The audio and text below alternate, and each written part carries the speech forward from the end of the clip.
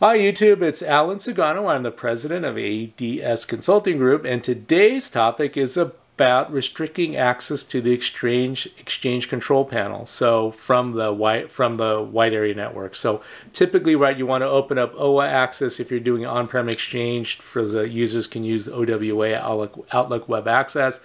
However, we recommend highly recommend that you restrict access to the ECP or the exchange control panel from the WAN um, enforce people to come in through an SSL VPN or only be able to administer the Exchange server internally from internal IPs.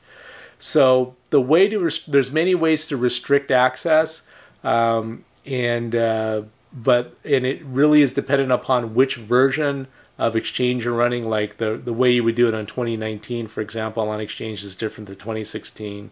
So um, uh, I'll put a link here to a Microsoft KB article, knowledge base article on, on how to do this depending on the version of Exchange that you're running. Uh, if you haven't, maybe you've already buttoned it up so you're good to go, but if you haven't buttoned up uh, the Exchange control panel, you uh, should do it as soon as you can uh, from the WAN, from the wide area network. So anyway, that's our that's our tip of the uh, tip of the week. If you like this content, please boink hit the subscribe button, boink hit the like button. It does, does help out the channel. Stay safe out there. Button down your Exchange server. Thanks a lot for listening. We'll talk to you soon.